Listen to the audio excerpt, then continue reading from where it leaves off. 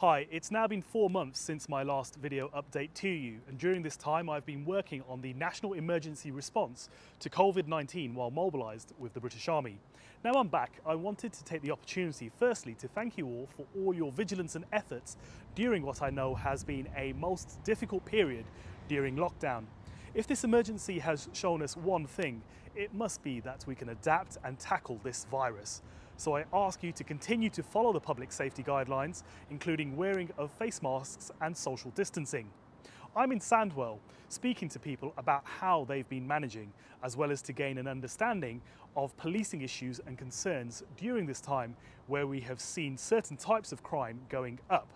Yes, sadly, crime continues to affect all of our neighbourhoods with ever more shocking and brazen attacks against honest, law abiding citizens. But I'm particularly concerned about our elderly who are more vulnerable at this time. And so I'm ever more motivated to create the change we need to see in our region. As Police and Crime Commissioner, I will ensure a strong community policing presence with more officers on the beat to get crime down and make our streets safer.